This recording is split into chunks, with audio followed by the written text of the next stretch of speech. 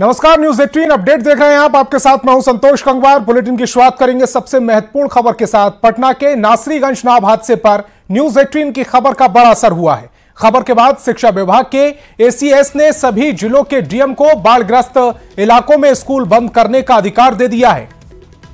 ACS ने खुद पूरे मामले पर न्यूज़ 18 से एक्सक्लूसिव बातचीत की और कहा कि शिक्षक के डूबने का मामला काफ़ी दुखद है और इसी को गंभीरता से देखते हुए सभी डीएम को यह आदेश दिया गया है। वहीं उन्होंने कहा कि इसके साथ ही सभी बाढ़ग्रस्त इलाकों में सरकारी नाव और लाइव, लाइफ जैकेट की व्यवस्था करने की भी आदेश दिया गया है। शिक्षा विभाग के एसीएस ने कहा कि ऐसे मामलों में जो मुआवजा सरकारी कर्मी को दिया जाता है, वो दिए जाएँगे। शिक्षा विभाग के एसीएस से बात की न्यूज़ एटीन संवाददाता रजनीश कुमार ने।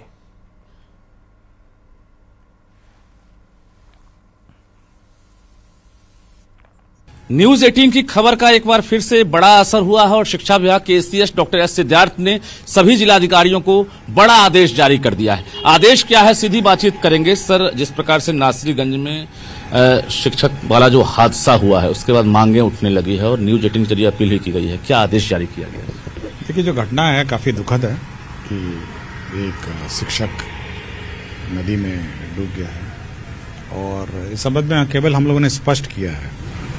कि जो बच्चे हैं स्टूडेंट्स हैं और टीचर्स हैं ये सुरक्षित पढ़े उनकी सुरक्षा भी बहुत महत्वपूर्ण है।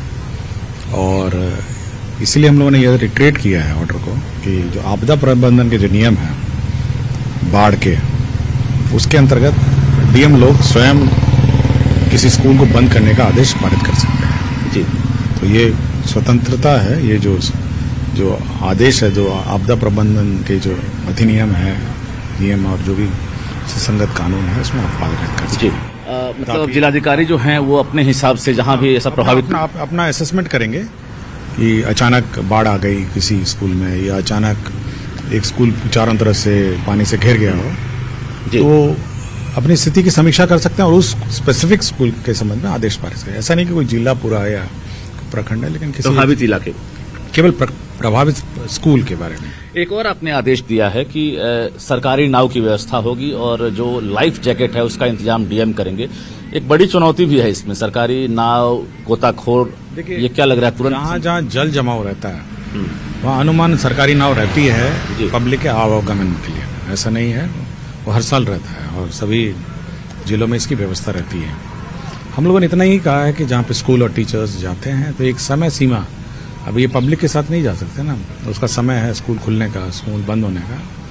तो जो समय है वो जो सरकारी नाव ऑलरेडी व्यवस्था जन आम जनता के लिए भी की गई है। हमने इतना ही कहा कि समय पे नाव उपलब्ध रहे ताकि बच्चे और स्टूडेंट्स और टीचर्स जो हैं समय पे जाएँ और समय पे आ जाए। मुआवजे को लेकर भी कुछ बातें हो रही सरकार की तरफ़ से? जो सरकारी कर्मी का होता है इसमें कोई अलग से सरकारी कर्मी की व्यवस्था है। बहुत बहुत धन्यवाद। हमारे साथ डॉक्टर एस सिद्धार्थ थे और इन्होंने महत्वपूर्ण जानकारियाँ दी है कि जिस प्रकार से घटना हुई है, घटना काफ़ी गंभीर है और इसको लेकर सरकार ने भी गंभीरता से एक आदेश जारी किया है। वो आदेश ये है कि अब जिलाधिकारी बाढ़ग्रस्त इलाके में अपने हिसाब से आदेश जारी कर सकेंगे कि स्कूल बंद रहेंगे या खुलेंगे। कैमरामैन दीपक के साथ रजनीश कुमार, न्यूज़ एटीन, पटना।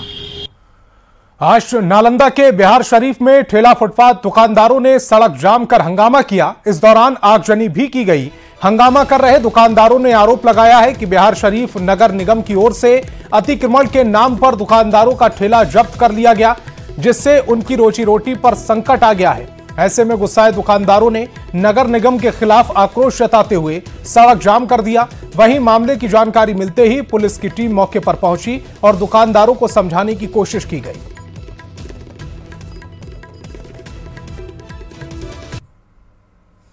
तो ये तस्वीरें हैं, जब आगजनी की गई, फुटपाथ पर जो ठेला लगाए जाते हैं, उनको जब्त करने का आरोप लगा है। नगर निगम पर बताया जा रहा है कि अतिक्रमण हटाने के नाम पर ठेलों को जब्त किया गया है, जिसके बाद जो ठेले के मालिक हैं, उनका ये कहना है कि उनकी रोजी रोटी पर संकट आ गया है और इसी को लेकर ये आगजनी की गई है, नारेबाजी की गई, प्रदर्शन किया गया। मुद्दा है कि अस्थायी जगह दिया जाए हम लोग की गरीब को उजालने का सरकार किया, काम किया जा रहा है। हम लोग को अस्थायी वेंडर दिया जाए। हम लोग किसी प्रकार का जाम ना करेंगे। अगर पेट की बात आई तो हम चक्का जाम कर देंगे। और पटना से बड़ी खबर मिल रही है। युवती का शव मिलने से सनसनी फैल गई है। गंगा नदी के किनारे पहुँची थी युवती जिसका शव मिला है। घटना से कई युवतियाँ लापता बताई जा रही हैं। अलग अलग थाना क्षेत्र से लापता बताई जा रही हैं। ये युवतियाँ शव की सूचना मिलने पर पुलिस मौके पर पहुँची। कई परिजन भी घटनास्थल पर पहुँचे हैं। शव की शिनाख्त करने में जुटी हुई है पुलिस। मरीन ड्राइव गंगा नदी के किनारे का ये पूरा मामला है, जहाँ युवती का शव मिलने से सनसनी फैल गई है।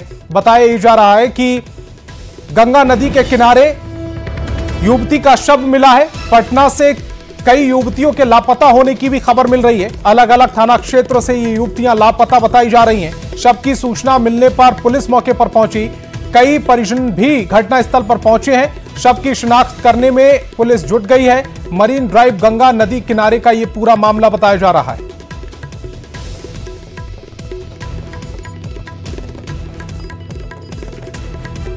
मेरीन ड्राइव पे सटे हुए। गंगा जी का जो बहाव है उसमें मिला है और लगता है जो कहीं से चूँकि पानी का बहाव और हवा के बहाव इधर ही आया हुआ है, हम लोग इसकी जाँच कर रहे हैं। एफएसएल टीम को भी बोला गया तो वहाँ पहुँच रहे हैं। मोतिहारी पुलिस ने 15 करोड़ की चरस बरामद की है। हर सिद्धि पुलिस ने 60 किलो चरस के साथ दो तस्करों को गिरफ़्तार किया है, जिनके नाम साजन कुमार और राजू कुमार हैं। हर सिद्धि और सुगौली इलाके में चरस की बड़ी खेप लाई जा रही थी।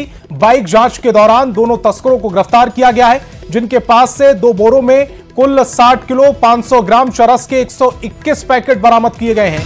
पुलिस अब इस बात की जाँच में लगी है कि आखिर डिलीवरी कहाँ से होनी थी और कौन कौन लोग इसमें शामिल हैं। पुलिस का कहना है कि चरस की खेप को दिल्ली भेजने की प्लानिंग थी।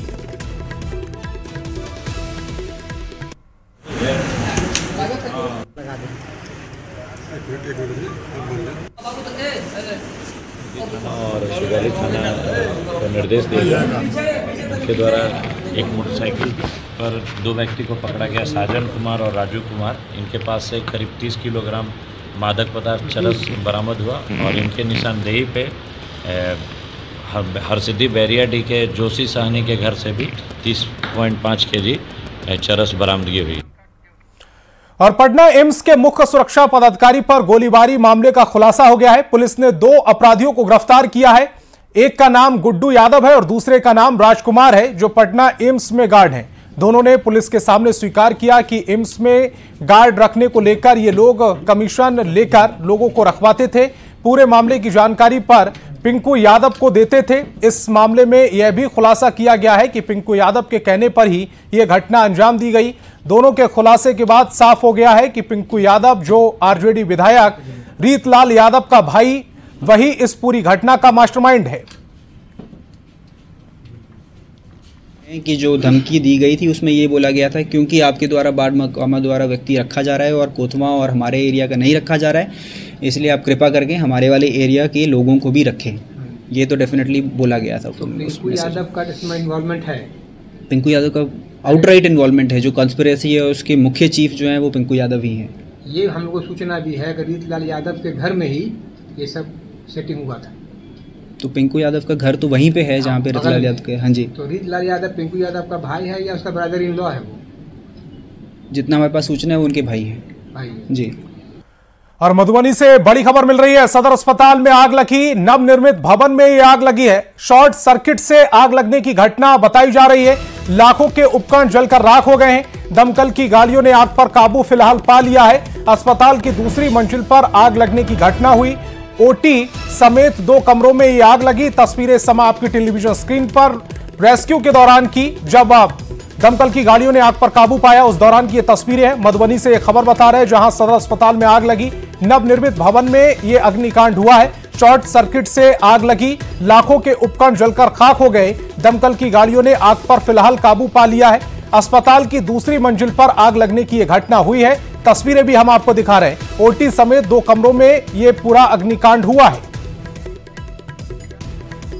और केंद्रीय जीएसटी की बड़ी कार्रवाई सामने आ रही। बिहार के व्यापारी को गिरफ़्तार किया गया है। व्यापारी प्रेम सुंदर चौधरी पर जीएसटी चोरी का आरोप लगा है। फर्जी बिल बनाकर 200 करोड़ की हेराफेरी का आरोप लगा है। स्क्रैप के कारोबार से जुड़ा है प्रेमी सुंदर चौधरी। सरकार की 30 करोड़ की टैक्स की चोरी की है। इसका नेक्सिस यहाँ से पंजाब तक जुड़ा हुआ है। पंजाब में भी इसे लेकर छापेमारी हुई है। अभी इसमें शामिल कई लोगों की जाँच चल रही है। मुजफ्फरपुर के रहने वाले व्यापारी नाम प्रेम सुंदर चौधरी को गिरफ़्तार कर लिया गया है।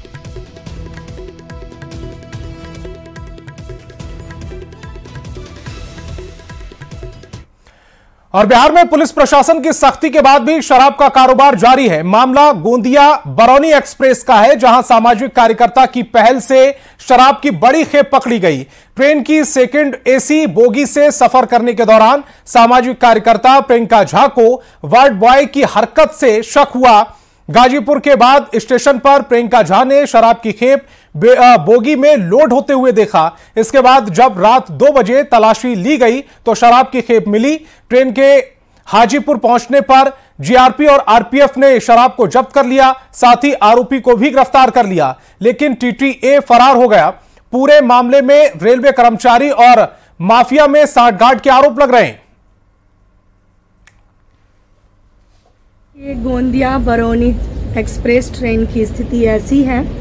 सेकेंड एसी में हम लोगों को करीब दो बजे रात को ये शराब मिली है। शराब की बड़ी बड़ी बैग देख रहे होंगे। ये और एक ये। ये मिली है और जब स्टाफ और टीटी से बात, जब स्टाफ और टीटी से बात किए कि प्रशासन को बुला दीजिए ताकि हम लोग बता सकें। तो स्टाफ बोला, मेरे पास जीआरपीएफ का नंबर नहीं है। और टीटी साहब ने कहा कि, कोई बात नहीं, बैग आपका नहीं हम हटा देते हैं। ये स्पष्ट है कि इसमें सारे लोग मिले हुए हैं। दरभंगा के केपटी थाने के पाँच पुलिसकर्मी एक साथ निलंबित कर दिए गए। दरअसल चौकीदार का शराब पार्टी करते और ऑर्केस्ट्रा गर्ल के साथ अश्लील डांस का वीडियो सोशल मीडिया पर वायरल हुआ। ऐसे में चौकीदार सोनू कुमार और ओम प्रकाश पासवान निलंबित कर दिए गए। चौकीदार पर पुलिस को सूचना देने के बजाय पार्टी में शामिल होने का आरोप लगा। वहीं इस मामले में एक इंस्पेक्टर, एक दरोगा और एक चौकीदार पर चुनाव कार्य में लापरवाही को लेकर निलंबित कर दिया गया है। इंस्पेक्टर थाना प्रभारी रंजीत शर्मा, दरोगा विकास मंडल और चौकीदार सुभाष कुमार यादव को निलंबित किया गया है। एसएसपी जगुनाथ रेड्डी ने यह कार्रवाई की पुष्टि की है।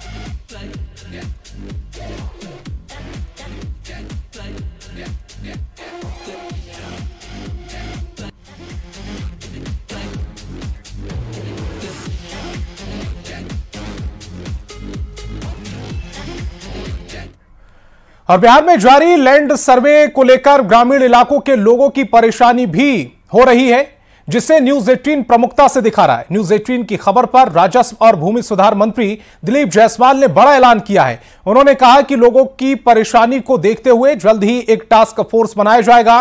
टोल टोल फ्री नंबर भी जारी किया जाएगा, जिस पर लोग अपनी समस्या बता सकेंगे। जिनका समाधान भी किया जाएगा। भूमि सुधार मंत्री ने लोगों की समस्या मजबूती के साथ उठाने के लिए न्यूज़ एटीन को धन्यवाद दिया। हुआ है कि सर्वे में बहुत सारी समस्या गाँव के लोगों का आ रही है। मैं इसमें एक स्पेशल टास्क फोर्स बना रहा हूँ, जो कि एक एक गाँव के लोगों का जो भी समस्या है, यहाँ से टोल फ्री नंबर से उसको दूर करेगा। मैं आप ही के न्यूज़ एटीन के इस कल जो आपने समस्या उठाया था इस पर मैं एक टास्क फोर्स बना रहा और भागलपुर के नवगछिया में एक बार फिर बिंद टोली बाँध पर पानी का दबाव बढ़ने से कटाव शुरू हो गया है। वहीं कटाव की जानकारी मिलते ही एसडीओ और एसडीपीओ मौके पर पहुँचे और कटाव रोधी कार्य शुरू करवाया। देखिए न्यूज़ एटीन संवाददाता विकास कुमार सिंह की रिपोर्ट। के साथ ही बाढ़ नियंत्रण प्रमंडल को सूचित करते हुए तुरंत वहाँ से बड़ी नावों पर दो दो नाव बालू की दो भिजवाई गई है और हम लोग तत्काल प्रभाव से काम प्रारंभ करवा दिए हैं। और अभी भी आप लोग देख सकते हैं कि काम जारी ही है।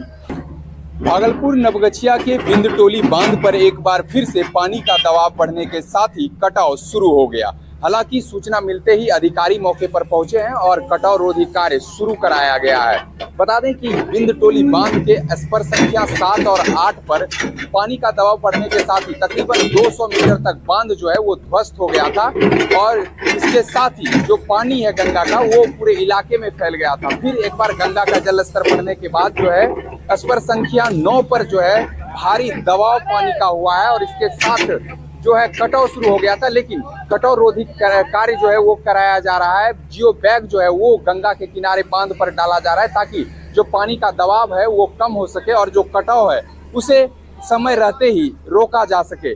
बता दें कि बिंद टोली बाँध तकरीबन 200 मीटर तक ध्वस्त होने के साथ ही इलाके में पानी से भयावह स्थिति उत्पन्न हो गई थी और लगातार इस बाँध पर पानी का दबाव बढ़ता ही जा रहा है। Vikas Kumar Singh, news eighteen. Bhagalpur. और बगहा में गंडक नदी नाव हादसे में लापता सभी लोगों को सुरक्षित रेस्क्यू कर लिया गया। इसी के साथ प्रशासन की मनाही के बाद भी नदी में नाव चलाने वाले नाविकों के खिलाफ कार्रवाई शुरू कर दी गई है। आपको बता दें कि बितहा के चंद्रपुर में गंडक नदी में दियारा जा रही नाव नदी की बीच धारा में पलट गई थी। सभी लोग नदी की धार में बहकर नीचे के इलाके तक पहुँच गए। भितहा के सीओ ने नाव हादसे के बाद सभी को सुरक्षित निकालने की पुष्टि की।